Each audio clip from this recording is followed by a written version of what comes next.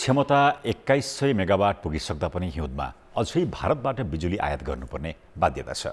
नदीमा पानीको बहाव कम हुँदा सत्र सय मेगावाटको माग धान्न पनि भारतबाट तिन सय पैँतिस मेगावाट बिजुली आयात गर्नु परेको हो। पानीको बहाव कम हुँदा पनि बिजुली उत्पादनमा कमी नआउने दस हजार सात सय साठी मेगावाट बराबरको जलाशययुक्त आयोजना अध्ययनमै सीमित छन्।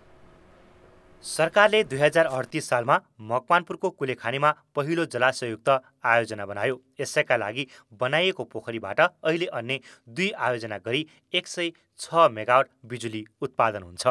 त्यही कारण अहिले भारतबाट दैनिक पच्चिस लाख रुपियाँ बराबरको आयात गर्नुपर्ने बिजुली घटाइदिएको छ। कुलेखानी सम्पन्नपछि पनि बिजुलीमा आत्मनिर्भर बनाउन नीति निर्माता चुके जसका कारण अहिले मुलुकले दैनिक तिन सय मेगावटभन्दा माथि बिजुली आयात गर्नुपर्ने बाध्यता छ। सरकारले बाह्र सय मेगावटको बुढी गण्डकी छ सय तिरासीको सुनकोशी तिन दुई सय अठार मेगावटको नौमुरे आयोजनाको अध्ययनको काम सकेर पनि निर्माण अघि बढाउन सकेको छैन। विद्युत विकास विभागबाट कुल हालसम्म दसवटा जलाशयुक्त आयोजनाहरूको अध्ययन भइरहेको छ। तीमध्ये अध्ययन सकिसकेको आयोजनामा चाहिँ तिनवटा सुनकोशी तिन छ सय त्रियासी मेगावाट नौमुरे जलाशयुक्त आयोजना दुई सय अठार मेगावाट र सेती खोला छ ज आयोजना तिन सय नौ मेगावाट। यो गरेर लगभग बाह्र सय मेगावाट हुन्छ भने विद्युत विकास विभागले बाह्र सय दस मेगावटका तीन आयोजनाको अध्ययन सकेको छ। सेती खोला छ पश्चिम सेतीसँगै भारतीय कम्पनीलाई जिम्मा लगाइएको छ भने अन्य आयोजना लगानीकर्ता कुरेर बसेका छन्। यस बाहेकका चार हजार छ सय तेह्र मेगावटका अन्य सात आयोजनाको अध्ययन अघि बढेका छन्। त्यस्तै विद्युत प्राधिकरणले छ सय पैँतिस मेगावटको दुधकोशी जलविद्युत आयोजना दुई सय मेगावटको तमोर जलाशयुक्त आयोजनाको अध्ययन गरिरहेको छ।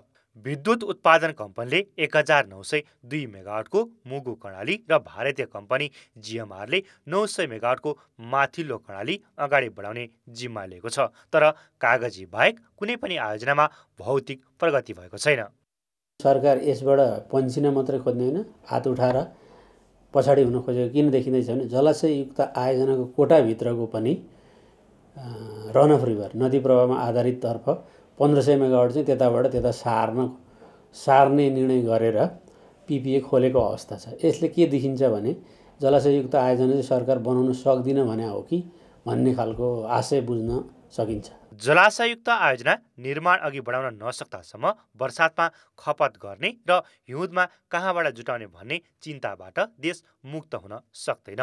बुढी गण्डकका लागि सरकारले इन्धनमा लगाएको करबाट छ्यानब्बे अर्ब रुपियाँ उठाएसँगै जलाशयुक्त आयोजनाका लागि रकमको भन्दा इच्छा शक्तिकै अभाव हो भन्ने पुष्टि गरेको छ।